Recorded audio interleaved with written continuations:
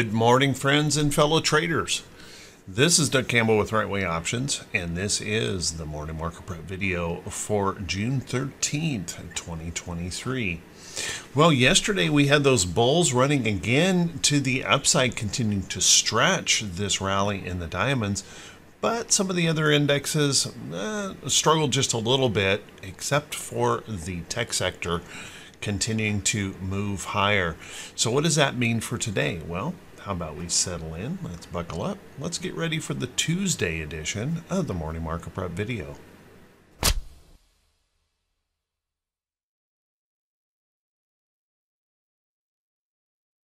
Good morning once again, everyone, and thanks so much for being here. I do truly appreciate it. Let's take a look at these charts and see if we can figure out how we might want to approach the market for today. Well, looking at the market, we are certainly very, very bullish, and there's tremendous anticipation about the CPI number today. Boy, you cannot throw um, you can't throw a dart at any of the news agencies out there and don't see some kind of a prediction that the Fed is going to pause. And everyone is looking for the CPI number to help support that and keep the Fed in check going into Wednesday. Today is the beginning of the FOMC meeting. Tomorrow afternoon, we anticipate their decision on um, uh, interest rates and the market is heavily anticipating that uh, the CPI number will come in weak and support the Fed in not raising rates. Now, that certainly could be the case, but then make sure you understand that how how much the market could move to the downside if that number would happen to disappoint. So, looking at the charts here this morning, if we uh, take a peek here at the diamonds, you can see we rallied up here nicely yesterday, stretching up here, testing that resistance level in the chart. And this morning, we're trying to make a move to pop through there, just ever so slightly trying to move up here this morning on the diamonds as we wait on that CPI number.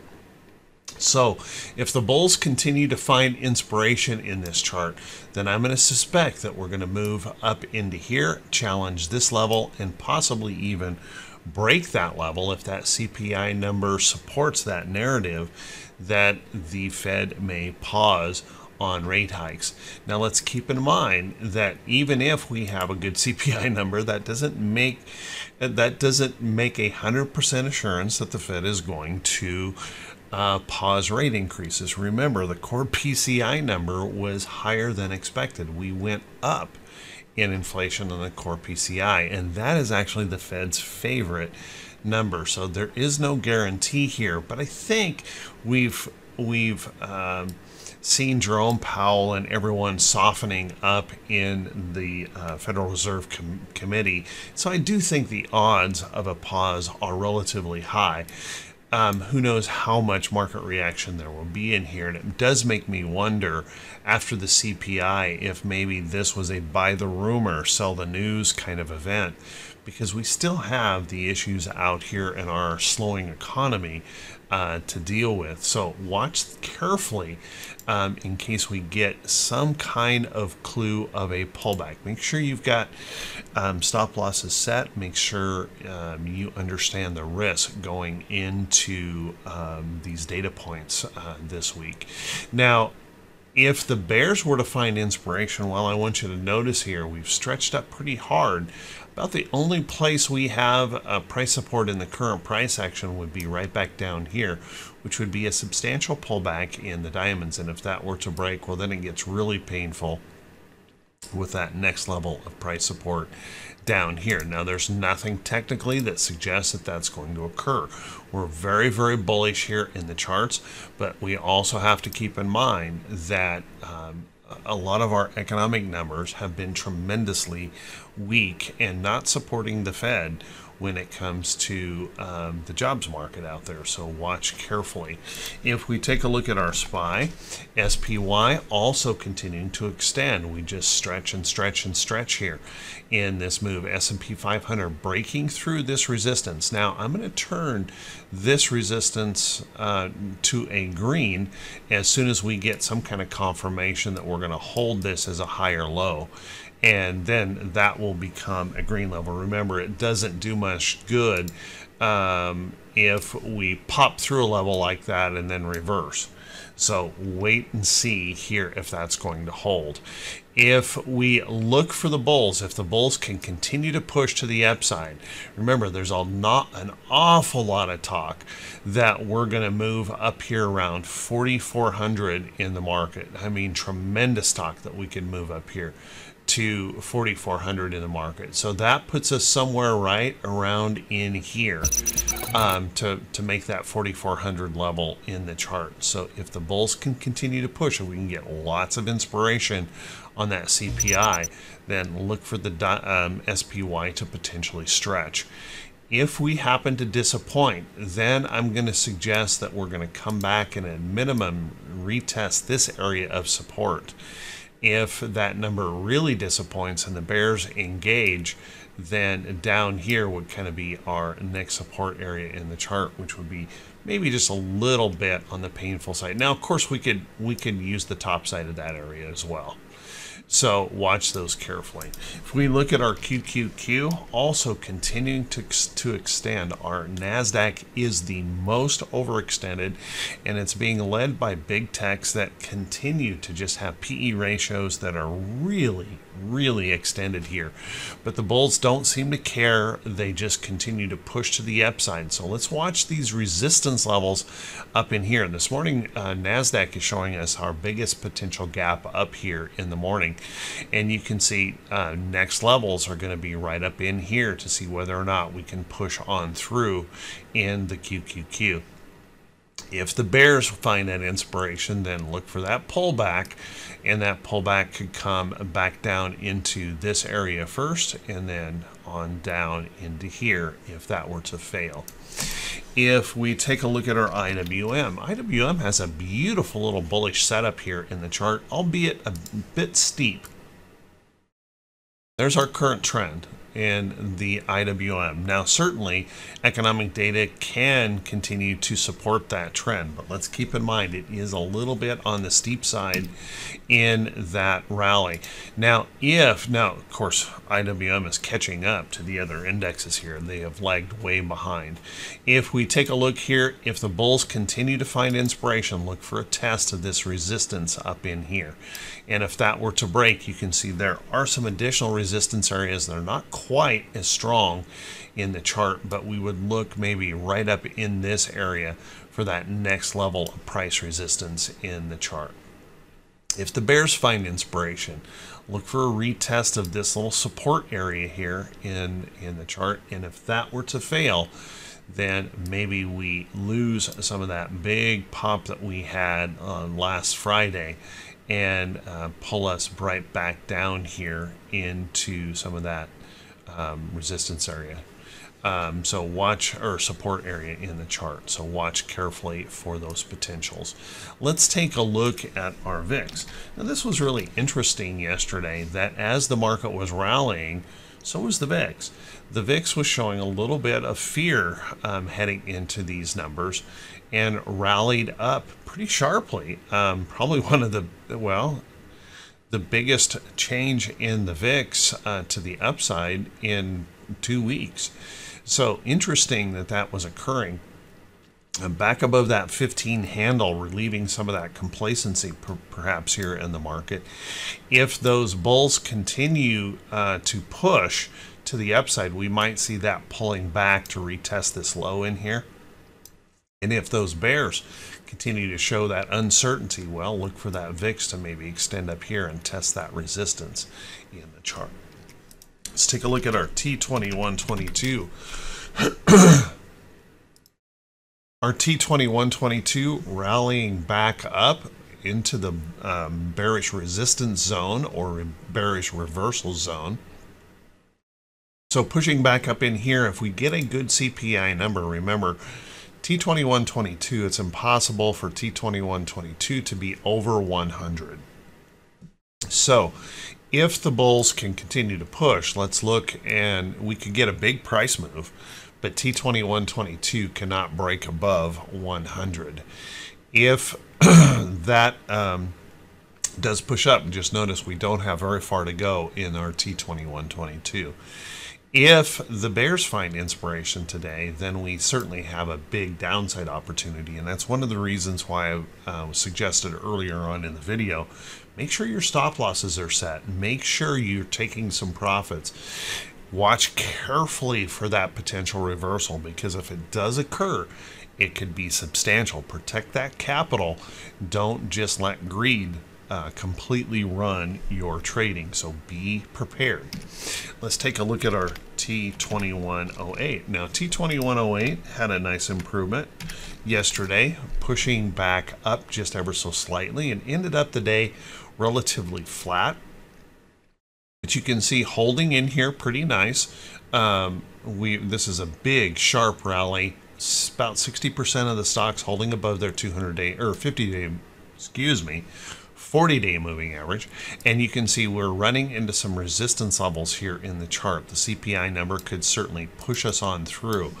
But as I mentioned yesterday, once once we get up in this area and we start pushing up past that 60% anywhere into this 70% area of the market, um, above the 40 day moving average, we start reaching a very frothy condition in, um, in the indexes where we have just kind of everyone that's going to get in is in.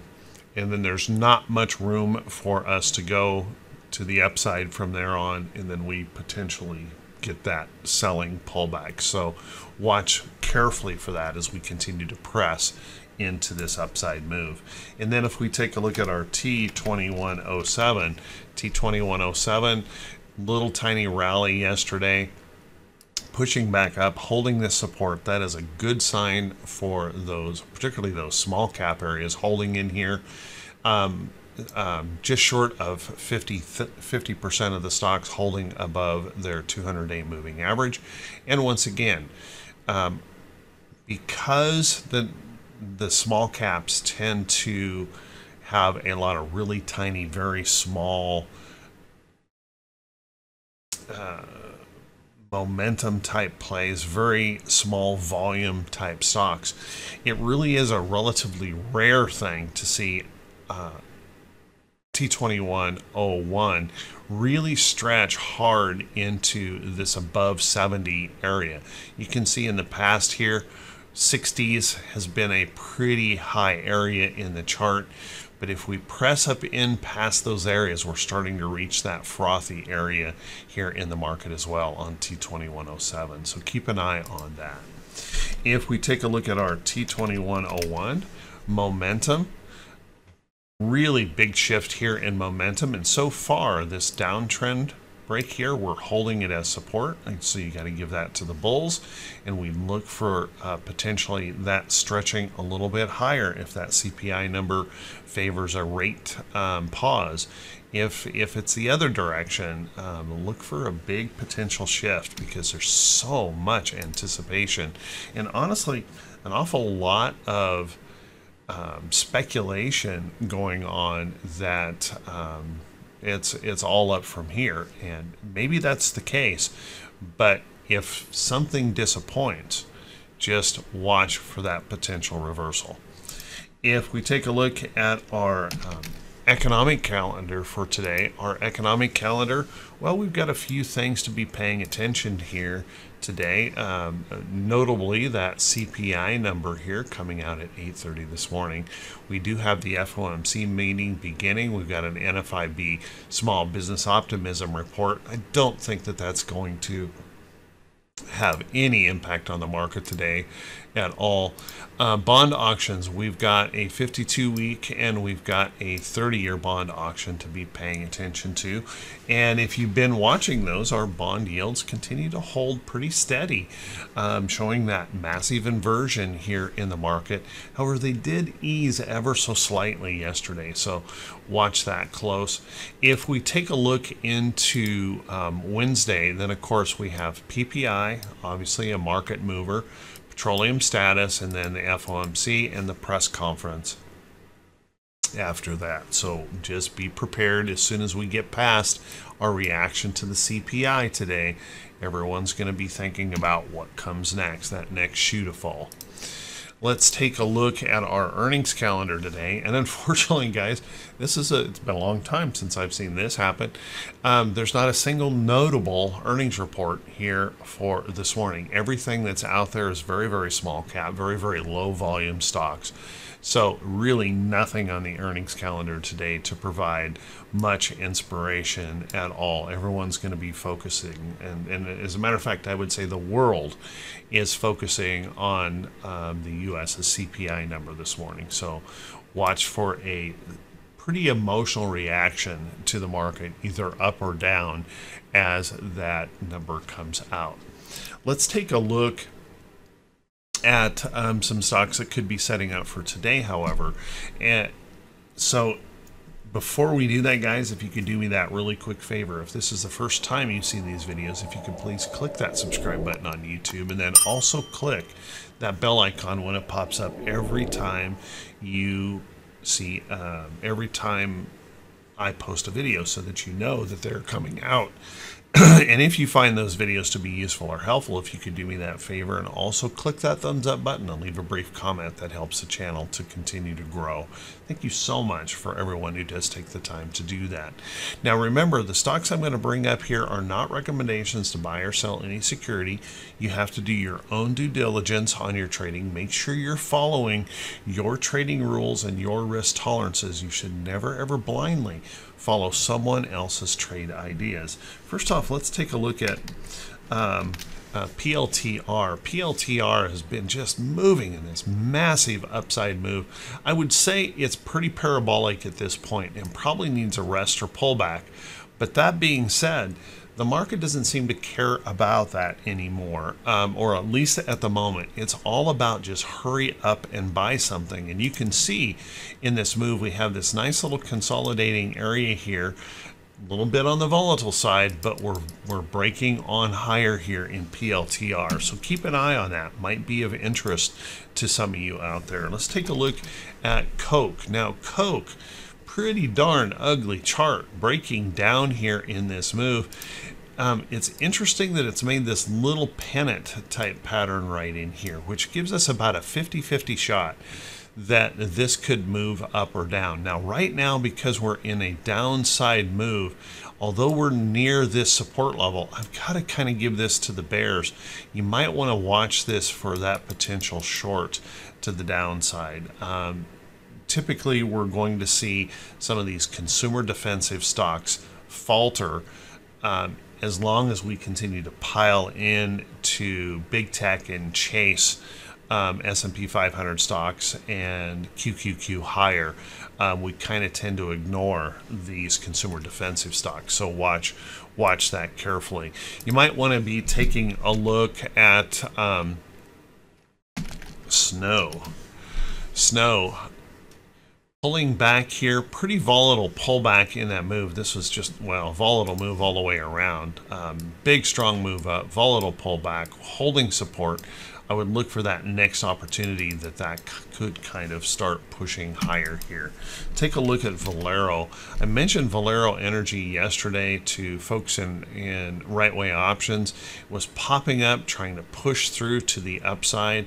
I think we still should keep an eye on this. And this is this is going to be critical if we start to see our energy prices moving back up because of cuts in those production levels, that's going to have negative effects on our inflation rate. So watch that carefully here. If that pops out, refining picking back up, that could be an interesting upside trade. So watch that closely. Let's take a look at our US dollar. I spent quite a bit of time yesterday talking about the US dollar and saying if we start to see some weakening here, we might see those commodity prices begin to move higher, and that would support that idea in energy and oil. So watch that carefully as this pulls back in here. If we continue to see a weakening in that chart, then we'll likely to see commodity prices start moving back higher. And if we see um, the dollar weakening, we could also see an increase in um, um, our 20 year treasuries here. So watch that carefully. And I think if a buy gets started here on the 20 year treasuries, it could move very quickly. Notice we've got this downtrend still serving as resistance. We've got all of this price resistance above here but we got that little hint of a lower high and what a reversal yesterday here on TLT. So watch for that opportunity. If that dollar weakens, this might just pop out of that little downtrend worth keeping an eye on. And then also take a look at gold. Gold had a nice little reversal yesterday. It was pushing down as that dollar showed strength and then that dollar started to weaken here just a little bit. And there we get that little pop and you can see gold trying to move just a little bit higher. I think if we break out of this downtrend and hold up into here, then we could see gold continuing to move on higher if that dollar weakens. And that's the that's going to be the key, I think, if the dollar weakens. So keep an eye on that. Let's take a look at um, plug. Plug Power made a big move yesterday to the upside, surging, and you'll look right here. This is what we call a rounded bottom breakout, breaking from um, above that 50-day moving average and holding it as support. You'll notice that all of our shorter term moving averages in here are starting to cross up through the 50 day moving average, providing support in under that 50 day. Now, I wouldn't want to chase this after such a big move yesterday, but maybe a little resting pullback in here um, to hold onto this trend, and I would be looking for plug and then maybe that upside move up here toward that 200 day moving average. This is one of those patterns that I love to trade over and over and over that works out pretty darn well. So keep an eye on plug power. Let's take a look at natural gas. Now, natural gas has just been so beat down, so beat down, so beat down. And it is starting to show that little tiny bit of a hint of a rally here again. Now, keep in mind, we've got a moving average squeeze here that's a bearish moving average squeeze um, in that. But once again, if we see that dollar weakening, I would look for natural gas to gain some strength here in that chart. So keep a close eye on it. How about um, old Lulu here? Lulu, pretty disappointing failure here at price resistance on the chart. Fell back hard, rallying back up toward that 50 this actually could set up as a potential short to the downside if we were to get a failure along that 50-day moving average. However, if it can push back through that downtrend break and hold, then we may have another shot at breaking out here on Lulu. Watch that close. Could go either direction in um, in that chart. So with that, guys, I'm going to call this an end. I'm running out of time here today. I want to thank you all so much for being here today. I truly, truly appreciate it. You guys, um, you'll, you'll never know how much it means to me that this many people uh, follow the channel and follow along with um, videos that provide no hype and no prediction to the market. We just look at those charts and we try to determine which way the market will go. And I just want to say thank you so much. I do truly appreciate it. You know, this has been an important thing for me for many, many years. I have been a full time trader for 27 years now, something like that. And this is something that's been very, very important for me. And I'm glad that other folks find this useful. So, thank you so much for all your kind support, all your kind words, uh, and comments on the video. I do truly appreciate it. Everyone, take care. Have an awesome day. I want to wish you all kinds of um, success for today, and we'll see you right back here bright and early Wednesday morning. Wish you all the best.